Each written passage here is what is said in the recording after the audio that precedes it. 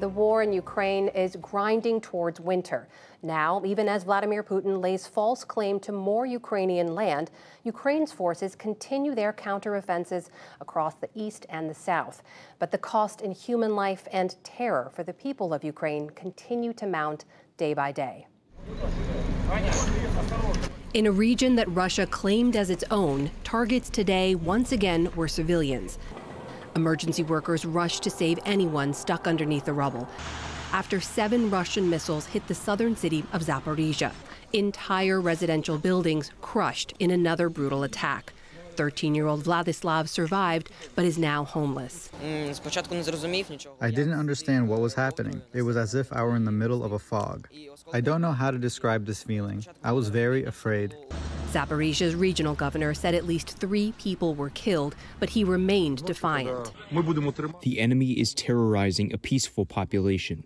We will hold on and we'll win. All will be Ukraine. President Vladimir Putin invaded to prevent that and signed laws this week that illegally annex four Ukrainian regions into Russia, including Zaporizhia. Europe's largest nuclear plant is there, seized by Russia in early March. The plant is still operated by Ukrainian engineers, but yesterday Russia's leader declared it was, quote, federal property. For months, Ukrainian and UN officials have warned of a potential nuclear catastrophe after explosions inside the plant. Today, the director of the UN nuclear watchdog, Rafael Grossi, said an accident was still possible. We are here in a conflict.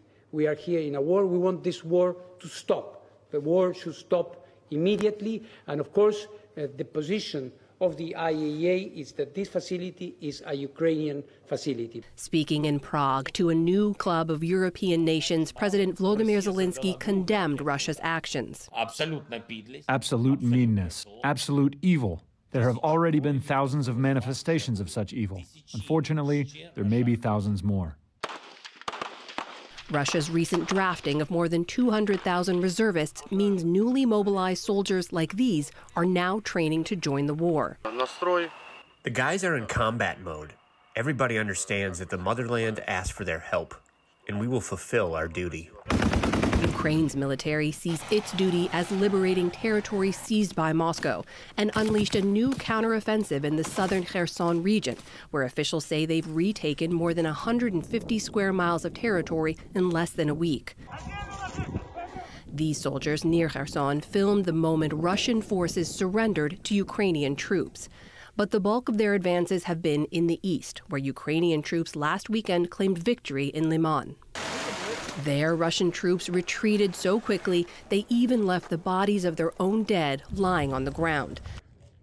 The city is now in ruins after more than four months of Russian occupation.